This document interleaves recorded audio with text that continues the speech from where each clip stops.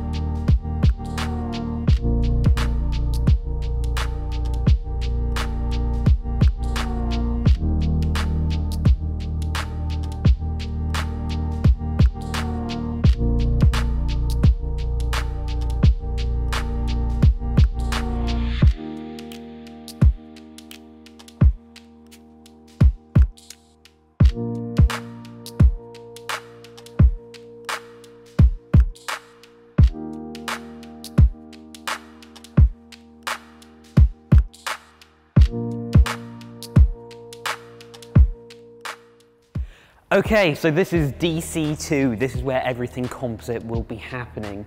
Everything from layup, infusion, tooling, the whole works happening here. And this is the first step towards infusion and a full-scale fuselage.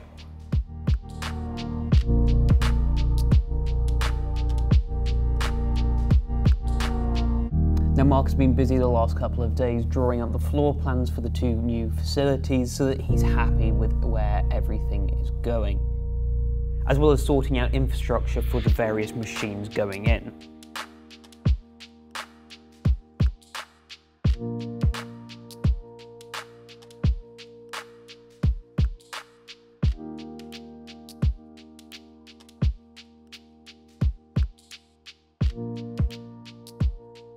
And this is DC3. This is where basically the vast majority of the engine will be made. We have the combustor cans that will be coming out of here from the forming techniques that we develop, as well as the casting and the rest of the fabrication and welding that goes into making the GT50 engine.